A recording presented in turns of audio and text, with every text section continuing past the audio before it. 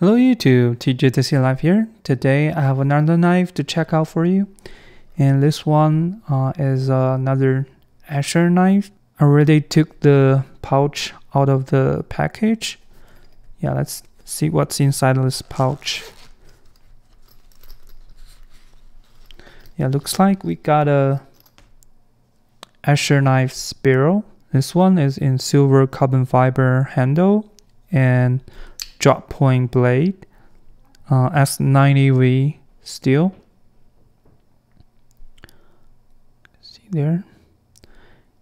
Yeah, super cool. Let's check out the action. Flipping action is pretty snappy. And some flick works as well. Uh, middle finger flick works better.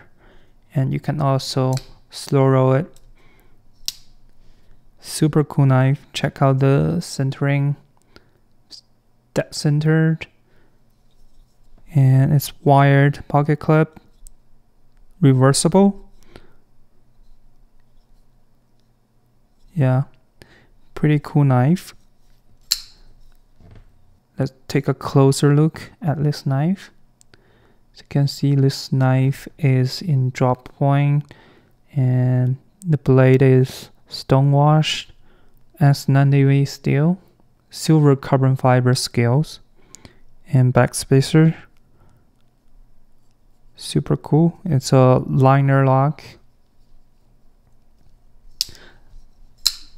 The action is pretty good for the price. It's only $135. Yeah, let's do a quick size comparison between this one and the Spyderco Para 3. So as you can see, the Spiro is uh, a little bit longer than the Para 3 in blade. The handles are mm, very similar in length. How about uh, PM2? As you can see, the Spiro is shorter than the PM2. How about compare it to this one? This is the Ferrum Forge Stinger. They are quite similar in length. As you can see, the Spiro is just a touch longer. How about compare it to the Demko AD20.5? Very similar in length as well.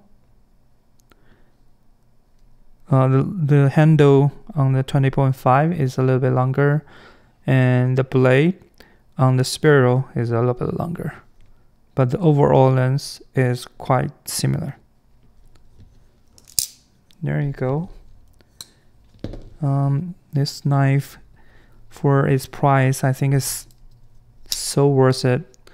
Uh, such a good blade shape. The drop point looks super cool and the ergos are really nice. You can have all four finger grab and there's a little choil here. You can choke up a little bit, but I won't I won't trust that. Uh, but you can definitely put your finger here. And there is some jimping here. Pretty good. Let's see how much this knife weighs.